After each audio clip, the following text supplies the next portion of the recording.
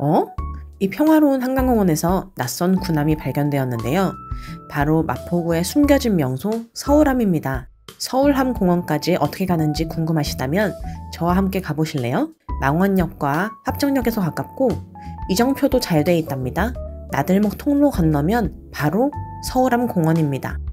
여느 한강공원처럼 그늘 아래 휴식을 취하거나 자전거를 타는 사람들의 모습도 볼 수 있지만 서울암 공원만의 특별한 점, 호위함인 서울암, 빠른 속도를 자랑하는 고속정 참수리, 그리고 잠수함 돌고래까지 세 개의 군함이 여러분을 기다리고 있습니다.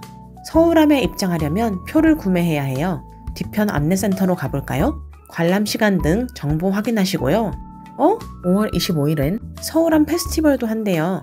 어린이 미술대회와 특별 공연이 있다니 꼭 가봐야겠어요. 주말엔 도슨트 해설까지? 서울암 내부에 들어가는 것만 단돈 3,000원이고 공원 입장료는 무료랍니다.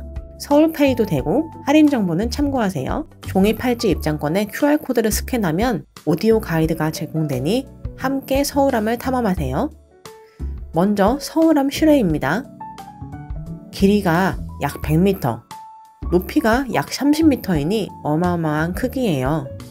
실제 레이더 등 무기들도 볼 수 있고 안쪽으로 들어가면 조타실을 또 구경할 수 있어요. 서울암 외부를 둘러봤다면 실내도 놓치지 마세요. 더 놀라운 볼거리들이 가득해요. 미사일과 실제 해군들의 침실도 볼 수 있어요. 4층으로 깊기도 깊고 생각보다 규모가 훨씬 크고 볼거리가 많습니다.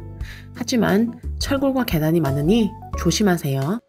서울함을 다 봤다면 이제 안내센터로 가볼까요?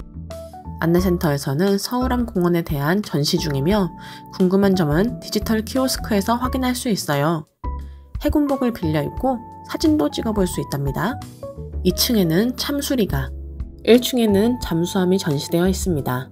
그리고 안내센터 2층과 3층에는 아이와 함께 온 가족들을 위한 휴게 공간도 마련되어 있어요.